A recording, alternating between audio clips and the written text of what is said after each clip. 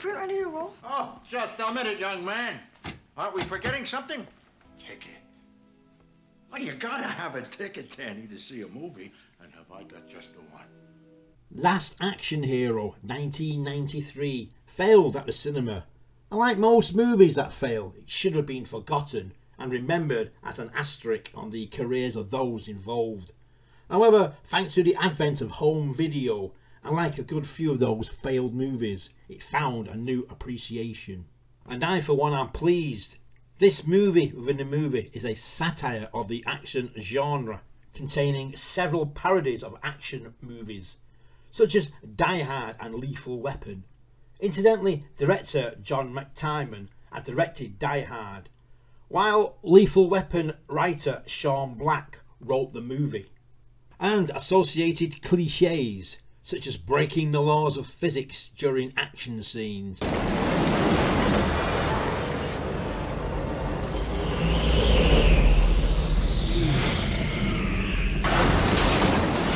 Or characters overriding physical harm.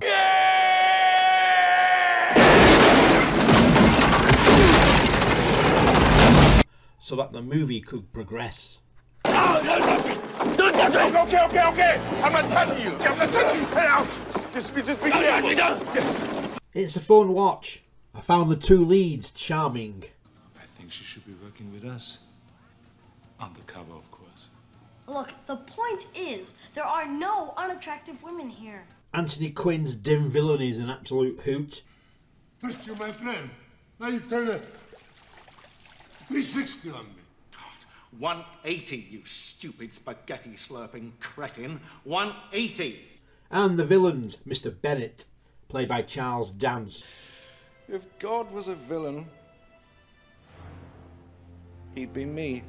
And the Ripper, Slater's antagonist in Jack Slater 3, played by Tom Noonan. I'm getting bored. Why don't we just skip to the end?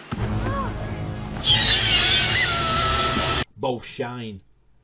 The cinematography is first rate.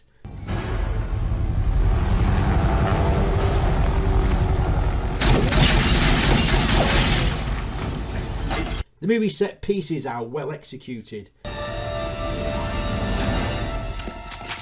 shit.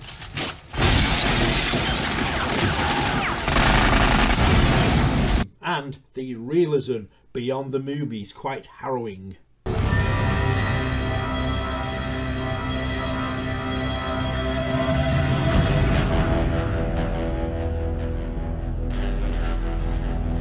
The movie stars Arnold Schwarzenegger as Jack Slater, a Los Angeles police detective and a douchey movie star self towards the end of the movie, and Austin O'Brien as Danny Madigan, who, due to the MacGuffin of a golden ticket,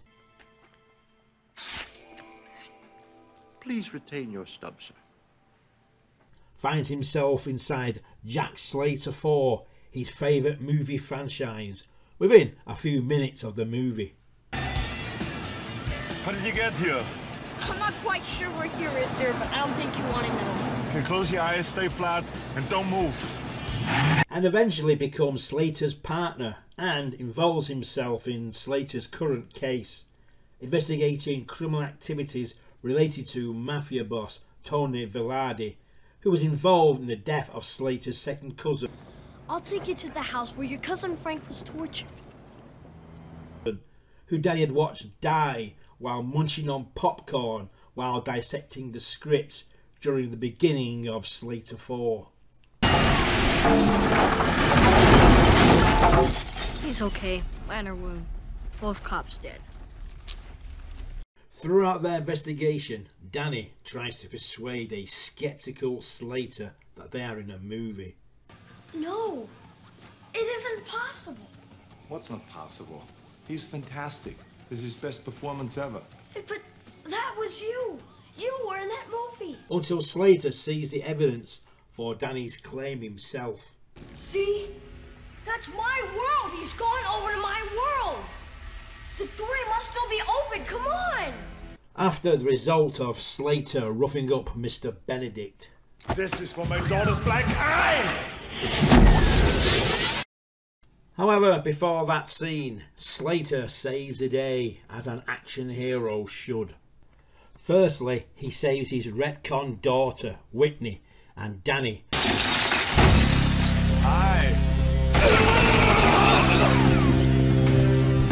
From the curious Mr. Benedict. He had one of the bullseye when he was with his second cousin. and his bunch of killers, where the ticket stub comes into possession of said Mr. Benedict, who soon discovers the ability to transport him out of the movie and into the real world.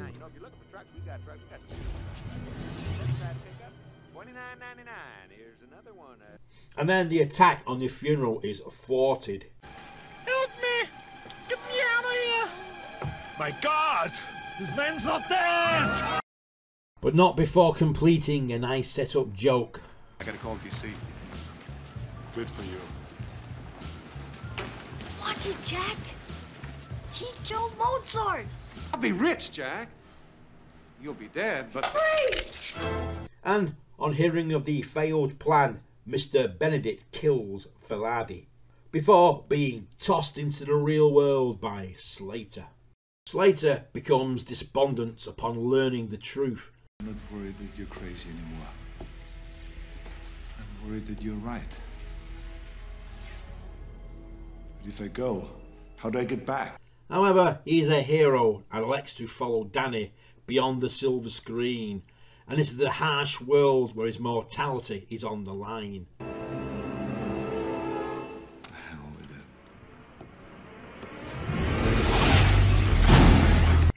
Meanwhile, Mr. Benedict takes a shine to the real world Help me test the theory. Sure, what can I do for you? Well, and sees its potential for villainy. I said I have murdered a man and I want to confess. Hey, shut up down there! However, being a villain of Jack Slater, he is compelled to kill him. And being in the real world, he targets the actor who portrays Jack Slater, Arnold Schwarzenegger. To help him achieve this aim, he brings forth the Ripper, the villain from Jack Slater 3.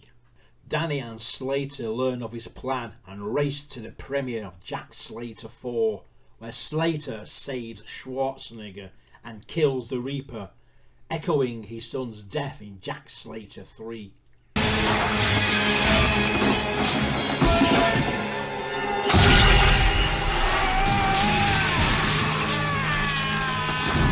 Just as Mr. Benedict appears and shoots Slater, critically injuring him.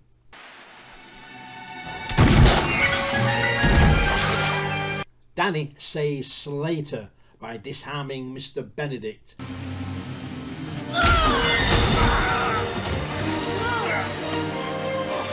Allowing Slater to shoot him in his explosive glass eye.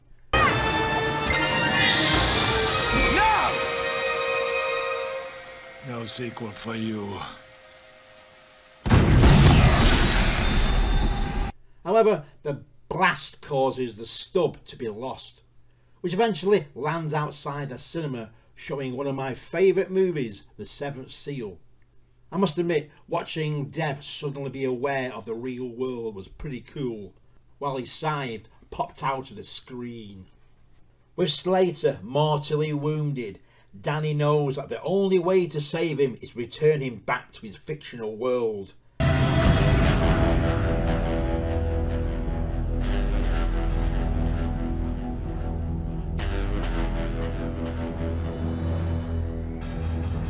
Take him home. And so they end up back at the private screening of Jack Slater 4. Death appears after a spot of ambulance chasing. And Danny, thinking that he was there for Slater, tries to stop him. However, Death is only curious why Slater isn't on his list. And after a plea from Danny to save Slater, wait a minute. Help us. You gotta get him back. You can do it. I know you can. Death gives him some advice. If I were you, I might be looking for the other half of the ticket. Which he does, and they both re enter the movie, where Slater's injury becomes a Hollywood trope. What is this, some kind of a joke? I wouldn't even call this a flesh wound. Come on, here, let's get him After experiencing their own respective worlds, Slater and Danny learn to live in them for their own betterment. For me, this well crafted, smartly written movie ranks alongside Arnold Schwarzenegger's best action movies like Predator, Terminator 1 and 2, and True Lies. On its release, it wasn't as successful as those. However, after years, it has morphed into a cult movie, and I think it deserves its status. If you like the content, please subscribe. Hit the like button and notification bell for new content. Those movies where they say, make my day, or I'm your worst nightmare. Well, listen to this one. Rubber baby buggy bumpers. Ha! You didn't know I'm gonna say that, did you?